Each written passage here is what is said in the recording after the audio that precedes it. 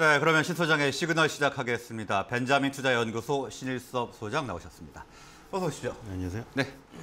자, 오늘 이제 반도체주 준비를 해주셨는데 어제 필라델피아 반도체 지수가 급등을 하면서 우리 국내 주식 반도체 주식들도 이제 반등에 성공을 했는데요. 오늘은 이 엔비디아와 퀄컴 상승을 계속했네요. 네. 어, 일단 이제 러시아 사태는 끝난 것 같습니다. 네. 왜냐하면 지금 원유, 정유주, 방산주, 비료주들 갑작스럽게 급등했던 것들이 마침 딱 고점에 이르르자 그런 소식이 기다렸다는 듯이 나오고 테크주들이 반등을 할 자리에 오자 기다렸다는 듯이 호재가 나오죠. 이래서 제가 항상 제가 말하는 건데 그 지금 이런 지정학적 리스크가 이 시장의 반락과 반등을 이끌었다는 논리에 저는 동의할 수가 없습니다. 왜냐하면 테크주는 우크라이나 사태가 발생이 안 됐더라도 조정을 할 자리였고 방산주니 비료주니 이런 것들도 지금 우크라이나 사태가 아니었더라도 정상적으로 물가가 오르고 농작지를 재배를 해야 돼서 저기 곡물 가격이 오르고 경기 회복이 따르는 데서 그 정유가 필요하기 때문에 원유 가격이 오르는 것이죠. 거기서 뭐 좀 더 가파르게 움직이는 이런 것들의 지정학적 리스크가 그 어? 탄력을 준 것뿐이지. 만약에 그게 정말 원인이라면 저렇게 그런 이슈가 경기를 이끄는 이슈라던가 큰 변화를 이끄는 이슈가 2주 만에 사그라들 수가 있나요? 2주 만에 다 제자리로 돌아갔습니다. 지금 결국에는 곡물 가격 급등이라던가 원유 가격 급등은 2주 만에 사라지는 신기루 현상 같은 것이 돼버렸죠. 결국에는. 이제 지금 테크주들은 전부 중요한 순간에서 다 반등을 하고 있습니다.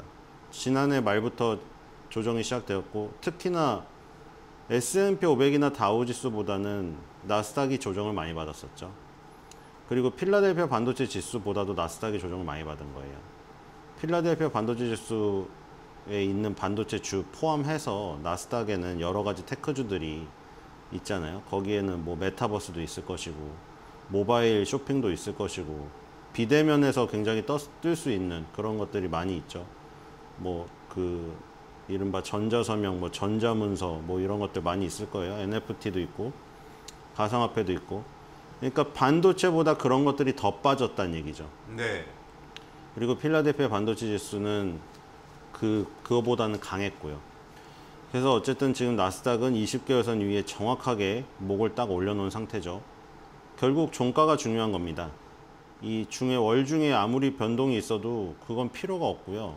지금 2주 가량이 남았지만 여기서 더 조금 더 올려서 끝내든 여기서 마무리가 되든 어쨌든 20개월 선에 지난달에 이어서 지지난달까지죠.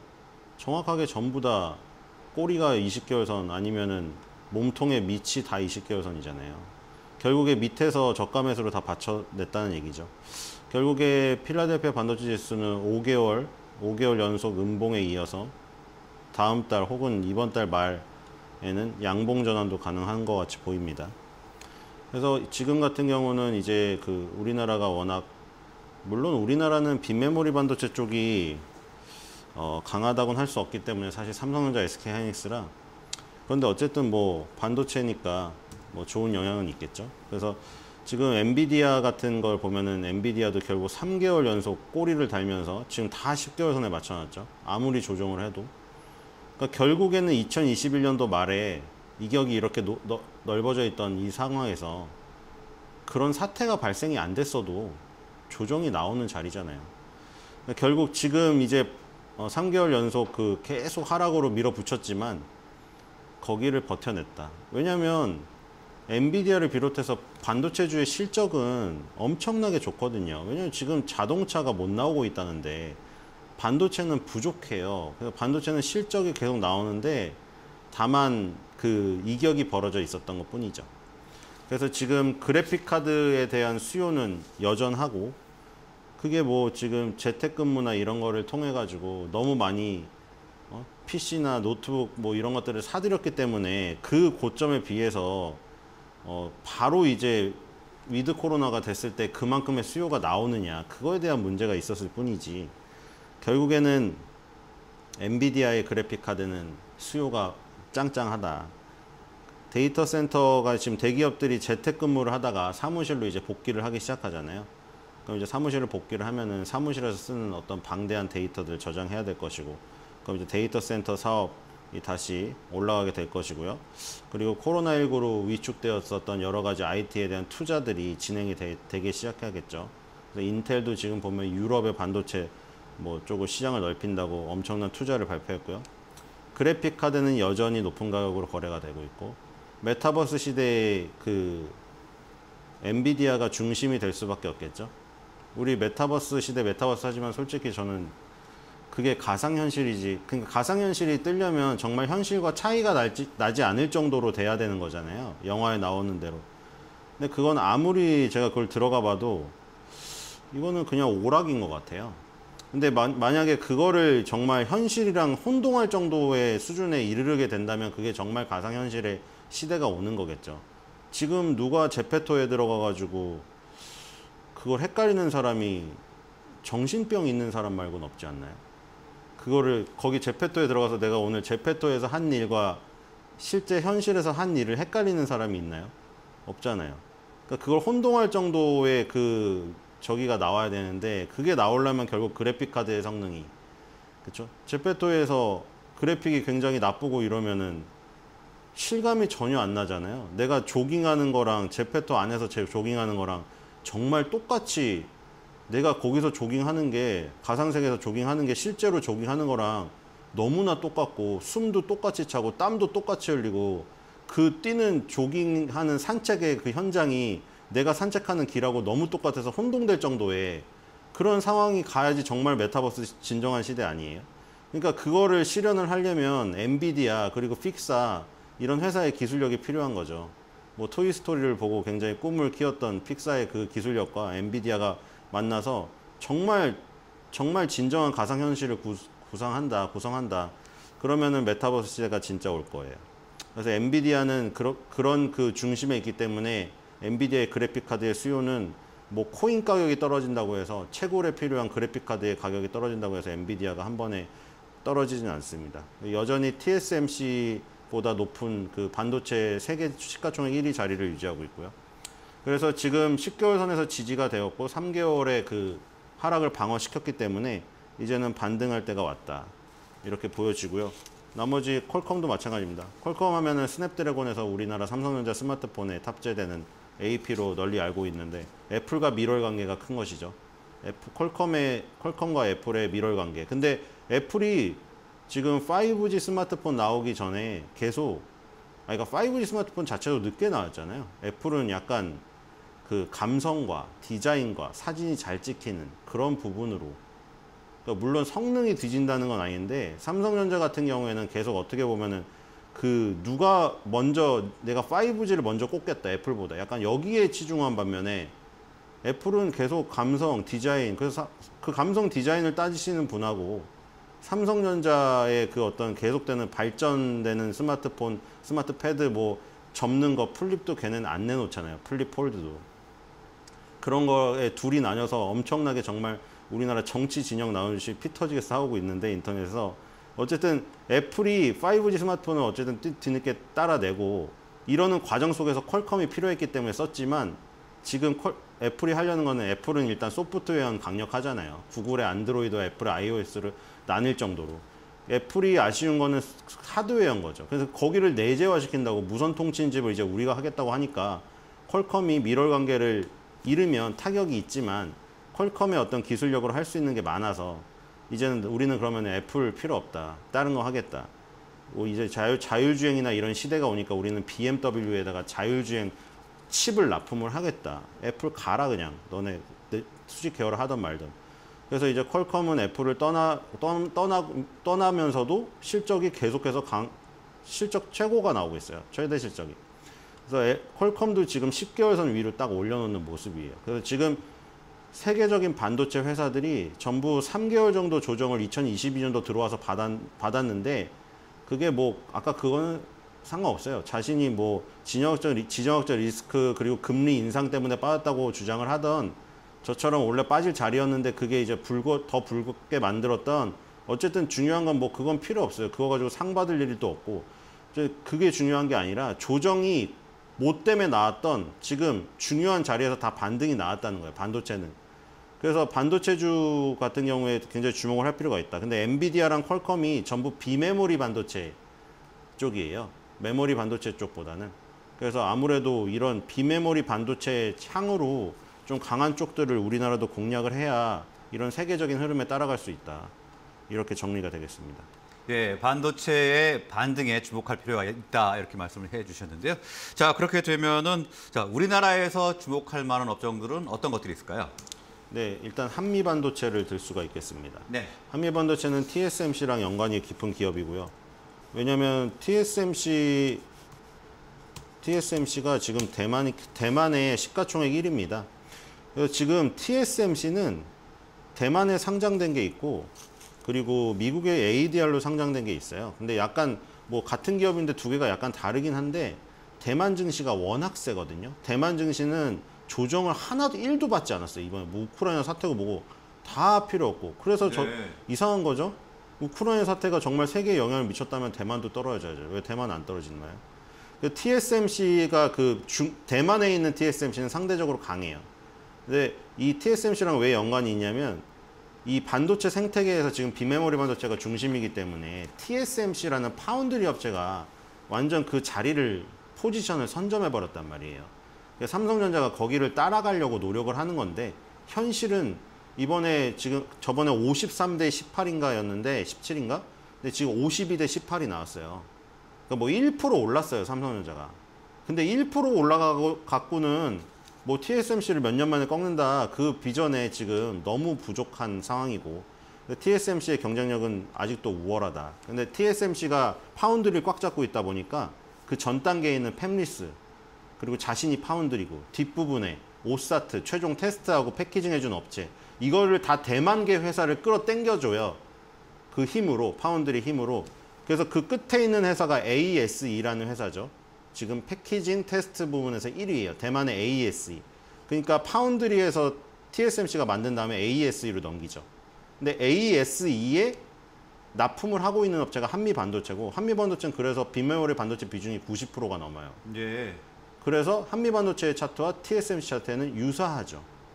SK 하이닉스와 삼성전자가 20개월 선이 깨지고 있는데 한미 반도체는 안 깨지는 이유가 TSMC와 연관이 있는 비메모리 반도체 쪽을 잡고 있기 때문에 코스피 지수의 영향을 이렇게 받음에도 불구하고 삼성전자와 SK 하이닉스와는 다른 다른 길을 간 거예요. 그리고 지금 최근에 차량용 반도체 패키지 필수 공정 장비인 테이프 마이크로 소우 출시를 했거든요. 아까 퀄컴에서 얘기 드린 대로 애플이 그렇게 자체 통신칩을 한다고 하면 우리 그럼 차량용 반도체 쪽으로 손댄다? 우리 어차피 스냅드래곤 AP도 있고 애플 뭐 너네 통신칩 쓰지 마도 우리가 딴 데 개발하면 된다 이러잖아요. 차량용 반도체가 커지기 때문에 그걸로 커버할 수 있다는 얘기잖아요. 퀄컴도. 이것도 마찬가지 한미 반도체도. 그동안 지금 차량용 반도체 쪽을 손 안 대다가 이쪽에 micro saw를 출시했어요. saw는 톱이고 마지막에 웨이퍼를 절단해주는 장비고 그게 AES의 반도체 그, 그 IT용 반도체 쪽 그 절단 장비로 들어가고 있는 거였는데 차량용 반도체 쪽을 내놨다. 여기 뭐 그 사족으로 얘기를 드리면은 김칠두 씨가 모델이잖아요. 그 60 넘으신 시니어 모델 중에 저는 처음에 그분 보고 아쿠아맨에 환상, 환생하신 줄 알았어요. 아쿠아맨.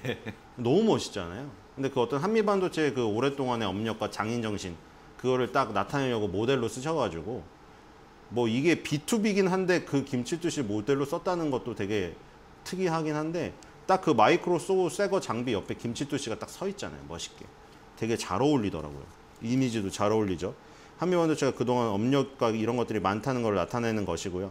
근데 글로벌 반도체 패키징 테스트 시장 1위 아까 말했던 ASE, AASE가 2022년 설비 투자를 발표했는데 20억 달러를 발표했는데 2021년 수준이랑 비슷합니다. 근데 ASE는 항상 보수적으로 발표를 한다고 합니다. 그래서 ASE를 비롯해서 대만의 그 파운드리 그 TSMC 그다음에 뭐 그 저 앞쪽에 팹리스 쪽에 있는 미디어텍 이런 회사들이 전부 다 그 1위 아니면 2, 3위를 기록을 하고 있기 때문에 대만계 쪽을 꽉 잡고 있다는 것은 굉장히 좋죠. 이 한미 반도체의 공시를 계속 확인해 보시면은 계속 대만계 ASE와 납품 계약을 체결했다는 소식을 공시를 되게 많이 볼 수가 있어요. 네. 그리고 최근에 반도체 전자파 차폐 공정 필수 장비인 EMI 실드 이 부분도 지금 키우고 있습니다. EMI 실드가 그 여러 기- 여러 가지 전자기기에 탑재되는 반도체 칩이 있는데 거기서 자체 전자파들이 나오니까 그 전자파가 다른 칩의 작동을 방해시킬 수 있기 때문에 그거를 실드 쳐주는 게 EMI 실드예요. 이 칩이 점점 더 엄청나게 많은 칩들이 들어가잖아요. 그래서 반도체 칩 표면에다가 스테인리스나 구리 등 금속 sputtering으로 그 막아주는 거예요. 근데 이게 2016년부터 애플이나 퀄컴이나 브로드컴이나 이런 글로벌 스마트폰 제조업체가 해당 공정을 도입하기 시작하면서 이 지금 EMI 실드 공정이 굉장히 커졌어요. 그래서 한미 반도체는 이 양쪽에 다 좋은 부분이 있기 때문에 음, 좋고요. 일단 그 실적도 최고고 일단 TSMC가 반등을 시작했기 때문에 한미 반도체도 이번 달에 잘하면 10개월 선 위에서 끝낼 가능성이 있다. 이렇게 되면은 1년 정도의 그 횡보 기간이 있고 이격을 다 줄이고 과열권을 시켰기 때문에 어, 다시 이제 2022년도 중반 초여름부터는 다시 한번 갈 수가 있다. 이런 생각이 듭니다. 네, 한미 반도체는 이 비메모리 비중이 90%가 넘고 TSMC에 향해 매출이 높기 때문에 TSMC의 주가를 따라갈 가능성이 있다 이렇게 말씀을 해주셨고요. 어, 다른 종목은 어떤 게 있을까요? 네, 파크 시스템입니다. 네, 이거는 계속해서 나노 공정, 나노 경쟁이 치열해지면 치열해질수록 중요해질 수밖에 없겠죠. 눈으로 보이지가 않기 때문에 지금 뭐 인텔도 뛰어든다고 하고 있는데 TSMC랑 지금 삼성전자는 3나노, 2나노 경쟁에 들어가고 있기 때문에 거기서는 누가 더 정교하고 누가 더 실수를 하지 않는가 그리고 불량률이 적은가 누가 수율을 높이 맞추는가 그게 관건이겠죠. 거기서 중요한 그 도움을 주는 것이 현미경이죠. 근데 현미경이 원자 현미경입니다. 원자 단위가 아니면 이제는 관찰을 할 수가 없어요. Atomic Force Microscope라고 AP, AFM입니다. 원래 이거는 연구실에서 많이 쓰였고 대학교 연구실에서 굉장히 자세한 미생물을 분석하거나 그런 세포를 분석할 때 쓰던 것이죠. 근데 이게 오, 너무 나노 경쟁이 치열해지다 보니까 반도체 산업계로 넘어오게 된 거예요, 이게. 그래서 반도체 위주의 산업용 원자 현미경으로 파크 시스템즈가 성장을 했었고 그리고 지금 이 삼성 디스플레이에 최근에 AFM을 제품을 납품하고 그 다음에 LG 디스플레이에도 공급 계약을 체결하면서 반도체 위주의 포트폴리오에서 또 디스플레이 쪽으로 지금 넓혔어요. 왜냐하면 디스플레이도 지금 뭐 한계에 다다랐다고 하는 사람도 있지만 굉장히 미세하게 예를 들어 삼성전자의 quantum dot 기술을 보세요. 정말 미세한 입자를 촘촘히 박아가지고 사람이 봤을 때 정말 빈틈이 없이 초고화질로 보이게 만드는 기술이거든요. 뭐 LG는 계속 AMOLED를 하고 있는 것이고 어쨌든 둘 다 어떤 기술력 이름하고 적용하는 건 틀린데 둘 다 결국 표현하려고 하는 거는 정말 실사에 가까운 화면이잖아요. 거기서 결국에는 그 디스플레이 공정도 그렇게 미세화되기 때문에 파크 시스템즈의 원자 현미경이 여기도 적용이 돼야 된다. 결국에는 반도체 쪽에서 나노 나노 경쟁 그리고 디스플레이 쪽에서 이런 미세한 어떤 그 눈에 최대한 사람의 눈이 인식할 수 있는 최대치의 한계까지 다다르게 하는 이쪽 부분에서 그 극한까지 끌어가는데 원자 현미경이 필요하기 때문에 디스플레이 쪽으로 넓혔다. 그리고 여기도 계속 이제 여기는 대만에 자꾸 T사 T사 나오는데 T사가 대만의 타이어겠나 타이어겠습니까? 타이어? TSMC겠죠. T사라고 하고 C사라고 하고 다 그렇게 A사라고 하는데 그게 다 대만계죠. 이거 사실 그 그거를 뭐 어떤 비밀 유지 협약 협약이나 이런 것 때문에 종, 저기 기업명을 안 하는 건데 누구 다 알고 있잖아요. 그 대만의 T사가 누구겠어요? 대만의 대만의 T사가 전공정에 원자 현미경을 도입했는데 당연히 대만의 TSMC도 삼성전자랑 2나노, 3나노 경쟁을 해야 되면은 원자 현미경 똑같이 장착을 해야죠. 안 그러면은 장비가 달라지면은 최종 그 기술력에서 차이가 나기 때문에. 근데 대만의 T사가 어드밴스드 패키징이라고 후공정에도 자사의 원자 현미경 도입을 시작했다. 그러니까 지금 전공정이고 후공정이고 원자 현미경이 그냥 반도체의 모든 공정에서 원자 현미경을 달고 보지 않으면 정말 우리가 생각하는 그 먼지 수준이 아닙니다. 미세먼지 눈에 안 보이는 그 수준의 먼지가 하나만 거기 앉으면 반도체 칩이 날아가는 거예요.